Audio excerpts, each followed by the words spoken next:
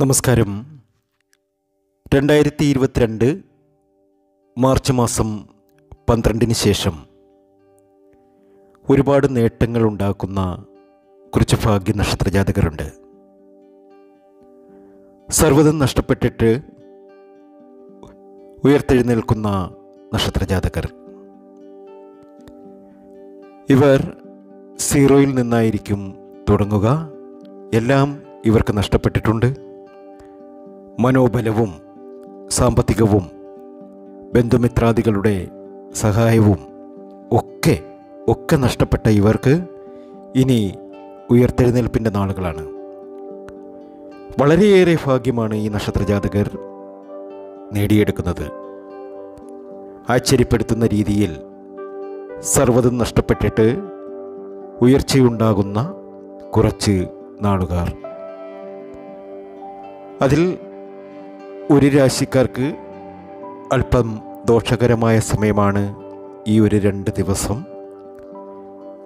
ഈ രണ്ട് ദിവസം ഇവർ അല്പം ക്ഷമയോടുകൂടി ആരുമായും വലിയ വഴക്കൊന്നും ഉണ്ടാക്കാതെ പ്രശ്നങ്ങളൊന്നും ഉണ്ടാക്കാതെ മുന്നോട്ട് പോകുക. ഈ ഒരു രാശിയിലെ മൂന്ന് നക്ഷത്ര ജാതകർ അല്പം കരുതലോടെ തന്നെ ഇരിക്കേണ്ട സമയമാണ്. എന്നാൽ കുറച്ച് നക്ഷത്ര ജാതകർക്ക് ഏറ്റവും അധികം ഭാഗ്യം വന്നു ചേരുന്ന സമയം കൂടിയാണ്. ആ നക്ഷത്ര ജാതകരെയാണ് ഇന്നത്തെ വീഡിയോയിലൂടെ പരിചയപ്പെടുത്തുന്നത്. അതിനു മുമ്പ് എന്നത്തെയും പോലെ ഇന്നും നിങ്ങളിൽ നിന്നും അവിലപ്പെട്ട ലൈക്ക് പ്രതീക്ഷിക്കുന്നു. എന്റെ ഉപാസനാമൂർത്തിയായ മുത്തുമാരിയമ്മയ്ക്ക് ശർക്കര പായസം നീതിച്ച് പൂജകൾ ചെയ്യുന്ന വെള്ളി ചൊവ്വ ദിനങ്ങളിൽ നിങ്ങൾക്കും നിങ്ങളുടെ കുടുംബാംഗങ്ങൾക്കും വേണ്ടി പ്രാർത്ഥിക്കുന്നതാണ് പൂജകൾ ചെയ്യുന്നതാണ്. പേരും ജന്മനക്ഷത്രവും കമന്റ് ബോക്സിൽ രേഖപ്പെടുത്തുക. നിത്യജീവിതത്തിൽ നിങ്ങൾ അനുഭവിക്കുന്ന ദുരന്തങ്ങളിൽ നിന്നുമൊക്കെ നിങ്ങൾക്ക് ഒരാശ്വാസമാകുവാൻ നിങ്ങളുടെ തടസ്സങ്ങളൊക്കെ മാറുവാൻ നിങ്ങളുടെ ഇനിയുള്ള മുന്നോട്ടുള്ള ജീവിതത്തിൽ ഒരു വഴിത്താങ് നിങ്ങൾക്കുണ്ടാകുവാൻ തീർച്ചയായും ഇത് സാധിക്കും. ഇനി മുന്നോട്ടുള്ള വഴികൾ നിങ്ങളുടെ മുന്നിൽ തുറക്കപ്പെടും. അത് കല്ലും മുള്ളും നിറഞ്ഞതായിരിക്കില്ല. വളരെയേറെ സന്തോഷത്തോടു കൂടിയും സമാധാനത്തോടു കൂടിയും കഴിയുവാനുള്ള യോഗം നിങ്ങൾക്ക് വരണമേ എന്ന് പ്രാർത്ഥനയുണ്ട്. കമന്റ് ബോക്സിൽ നിങ്ങളുടെ പേരും ജന്മനക്ഷത്രവും കുറിക്കുക. വെള്ളി ചൊവ്വ ദിനങ്ങളിൽ ശർക്കര പായസം നേതിച്ച് പൂജകൾ ചെയ്യുമ്പോൾ തീർച്ചയായും നിങ്ങൾക്ക് വേണ്ടി പ്രാർത്ഥിക്കുന്നതാണ്. സീറോയിൽ തുടങ്ങി കോടീശ്വരരാകുന്ന കുറച്ച് നക്ഷത്ര ജാതകർ കോടീശ്വരരാകുക എന്ന് പറഞ്ഞാൽ വലിയ പണക്കാരാകുക എന്ന് മാത്രമല്ല നിങ്ങളുടെ ജീവിതത്തിലെ ദുഃഖദുരിതങ്ങൾ സങ്കടങ്ങളൊക്കെ മാറി സർവതിലും വിജയം നേടി ഒന്ന് സമാധാനത്തോടു കൂടി ജീവിക്കുവാനുള്ള നിങ്ങളുടെ ആഗ്രഹം നിറവേറുന്നു എന്നത് തന്നെയാണ്. ഈ നക്ഷത്രജാതകർ ഹനുമാൻ ക്ഷേത്രത്തിൽ ദർശനം നടത്തണം. ജീവിതത്തിൽ വലിയ നേട്ടങ്ങൾ ഉണ്ടാക്കും ഈ നക്ഷത്ര ജാതകർ.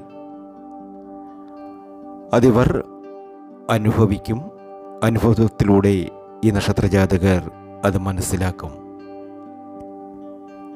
ഇവർ ശനിയാഴ്ച ദിവസം ആഞ്ജനേയനെ പ്രാർത്ഥിക്കുക. ആഞ്ജനേയ ക്ഷേത്രത്തിൽ നിങ്ങളാൽ കഴിയുന്ന വഴിപാടുകൾ അർപ്പിക്കുക. ഹനുമാൻ ക്ഷേത്രത്തിൽ പോകാൻ സാധിക്കാത്തവർ നിങ്ങളുടെ വീട്ടിൽ തന്നെ ഒരു ചെറിയ പടം വച്ച് പ്രാർത്ഥിക്കാവുന്നതാണ്. ഹനുമാനെ പ്രാർത്ഥിച്ചാൽ നവഗ്രഹങ്ങളുടെ ദോഷം പോലും ഏൽക്കില്ല എന്നുണ്ട്. അതുപോലെ ഹനുമാൻ ചാലിസ വീട്ടിൽ കേൾക്കുന്നതും വലിയ ഗുണം നിങ്ങൾക്ക് ചെയ്യും. ആഞ്ജനേയന് വഴിപാട് നടത്തുക. പ്രത്യേകിച്ച് വടമാല നടത്തുക. ഭാഗ്യം നിങ്ങൾക്ക് വരും. ഒത്തിരി ഒത്തിരി സൗഭാഗ്യങ്ങൾ ആഞ്ജനേയൻ നിങ്ങൾക്ക് കൊണ്ടുതരും. ശനിയാഴ്ച ദിവസം ആഞ്ജനേയ ക്ഷേത്രത്തിൽ ദർശനം നടത്തുക. ഹനുമാന്റെ ശ്ലോകങ്ങൾ വീട്ടിൽ കേൾക്കുന്നതും നിങ്ങൾക്ക് വളരെയേറെ ഗുണം ചെയ്യും. നിങ്ങളുടെ ദുഃഖ ദുരിതങ്ങൾ സങ്കടങ്ങൾ ഒക്കെ ഒഴിയും ജീവിതത്തിൽ നിങ്ങൾക്ക് അഭിവൃദ്ധി ഉണ്ടാകും നേട്ടമുണ്ടാകും. ആഗ്രഹിക്കുന്ന കാര്യങ്ങളൊക്കെ നിങ്ങൾ നേടിയെടുക്കും. സത്യം പറയുക അധർമ്മങ്ങൾ ചെയ്യാതിരിക്കുക ദാനധർമ്മങ്ങൾ നടത്തുക വാക്കുകൾ കൊണ്ടുപോലും ആരെയും വേദനിപ്പിക്കാതിരിക്കുക. ഭാഗ്യം ഒരുപാട് വന്നു ചേരുന്ന ആഞ്ജനേയ സ്വാമിയുടെ അനുഗ്രഹത്താൽ ഒത്തിരി നേട്ടങ്ങൾ വന്നു ചേരുന്ന മേടരാശിക്കാർക്ക് ഇനി നല്ല കാലമാണ്. മേടരാശിയിലെ അശ്വതി ഭരണി കാർത്തിക എന്നീ നക്ഷത്രജാതകർ ഒരുപാട് നേട്ടങ്ങൾ കൊയ്യും. രാശി അധിപതി പത്താമിടത്ത് ഉച്ചപ്പെട്ടിരിക്കുന്നു. അത്ഭുതകരമായ നേട്ടം ഒരുപാട് ഭാഗ്യം ഇവർക്ക് വന്നു ചേരും. ഇവരുടെ ബിസിനസ്സിൽ അല്ലെങ്കിൽ തൊഴിലിൽ വളരെയേറെ നേട്ടമുണ്ടാകും. വിവാഹമൊക്കെ തടസ്സപ്പെട്ടിരിക്കുന്നവർക്ക് വിവാഹ ഭാഗ്യം വന്നു ചേരും. സകല ഭാഗ്യങ്ങളും ഇവർക്കുണ്ടാകും.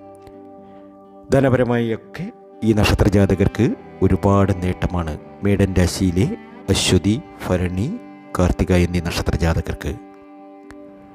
ഈ നക്ഷത്രജാതകർ ആഞ്ജനേയ ക്ഷേത്രത്തിൽ ദർശനം നടത്തുക. അതല്ലെങ്കിൽ നിങ്ങളുടെ വീട്ടിൽ ഹനുമാൻ സ്വാമിയുടെ ഒരു പടം വെച്ചതിന് ശേഷം നിങ്ങൾക്ക് പ്രാർത്ഥിക്കാവുന്നതാണ്.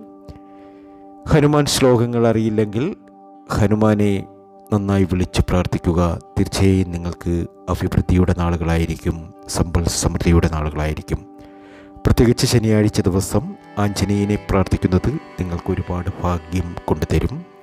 അത് നിങ്ങൾക്ക് മനസ്സിലാകുകയും ചെയ്യും. ഒന്ന് ട്രൈ ചെയ്യുക. മിഥുന രാശിക്കാർക്ക് അതായത് മകീരം തിരുവാതിര പുണർദ്ധം എന്നീ നക്ഷത്ര ജാതകർക്ക് എല്ലാ കാര്യത്തിലും നേട്ടങ്ങൾ വന്നു നിറയുന്ന സമയമാണ്. സന്താനങ്ങൾ ഇല്ലാത്തവർക്ക് സന്താനങ്ങൾ ഉണ്ടാകും. നിറയെ പണം വന്നു ചേരും.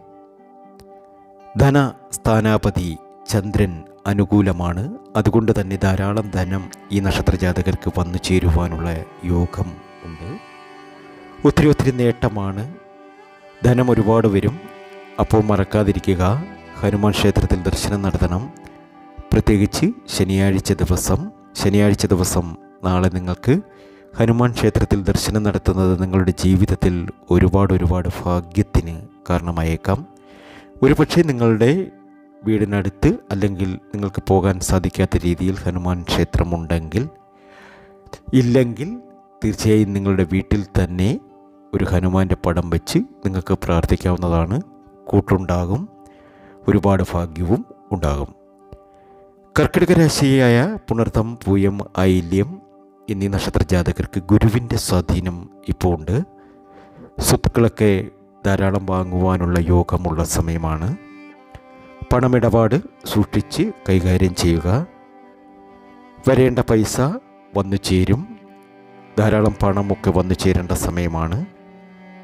കയ്യിൽ ഇഷ്ടംപോലെ പണമൊക്കെ വന്നു ചേരേണ്ട സമയമാണിപ്പോൾ. ആഞ്ജനേയ ക്ഷേത്രത്തിൽ ദർശനം നടത്തുക അവിടെ വടമാല പരിഹാരമായി ചെയ്യുക തീർച്ചയായും ഉയർച്ചയുണ്ടാകും. കുംഭക്കൂറിലെ അവിട്ടം ചതയം പൂരുരുട്ടാതി എന്നീ നക്ഷത്രജാതകൾക്കും ലാഭത്തിന്റെ കണക്കുകൾ മാത്രമേ ഇനി പറയാനുണ്ടാകുകയുള്ളൂ. ഒരുപാട് കഷ്ടതകൾ ബുദ്ധിമുട്ടുകൾ സങ്കടങ്ങൾ അനുഭവിച്ചവരാണ്. ഇനി മാറ്റമാണ് വലിയ മാറ്റമാണ് ഒരുപാട് ഉയർച്ചയിൽ ഈ നക്ഷത്രജാതകർ എത്തും ഭാഗ്യം ഈ നക്ഷത്രജാതകർക്ക് ഒപ്പമുണ്ട്. എല്ലാ രീതിയിലും ഭാഗ്യം കുംഭക്കൂറിലെ അവിട്ടം ചതയം പൂരുരുട്ടാതി എന്നീ നക്ഷത്രജാതകർക്കുണ്ടാകും. വലിയ വലിയ നന്മകൾ ഇവരിൽ വന്നു ചേരും അത്ഭുതകരമായ കാര്യങ്ങൾ പലതും നടക്കും. പ്രതീക്ഷിക്കാത്ത പല അനുകൂലമായ കാര്യങ്ങളും ഇവരുടെ ജീവിതത്തിൽ നടക്കും. കല്യാണ തടസ്സങ്ങളൊക്കെ മാറിക്കിട്ടും. ധനം വന്നു നിറയും. വൃശ്ചിക രാശിക്കാർക്ക് ചന്ദ്രാഷ്ടമമാണ്. വിശാഖം അനിലം തൃക്കേട്ട എന്നീ നക്ഷത്രജാതകർക്ക് ഈ രണ്ട് ദിവസം അല്പം കരുതലോടെ ഇരിക്കേണ്ട സമയമാണ്. ആരുമായും അനാവശ്യമായ വാക്കുതർക്കത്തിനോ അല്ലെങ്കിൽ വാക്കുകൾ കൊണ്ട് ആരെയും വേദനിപ്പിക്കുവാനോ ശ്രമിക്കരുത്. അങ്ങനെ ശ്രമിച്ചാൽ നിങ്ങളുടെ ജീവിതത്തിൽ ഒരുപാട് നഷ്ടങ്ങൾ സംഭവിക്കുന്ന സമയമാകും. അത് ബന്ധുമിത്രാദികളാണെങ്കിലും കൂട്ടുകാരാണെങ്കിലും ആരുമായും വഴക്കുണ്ടാക്കാതിരിക്കാനും സംസാരത്തിൽ ശ്രദ്ധിക്കുകയും ചെയ്യുക. തീർച്ചയായും ആഞ്ജനേയ ക്ഷേത്രത്തിൽ ദർശനം നടത്തുക. ഭാഗ്യമാണ്. മഹാഭാഗ്യം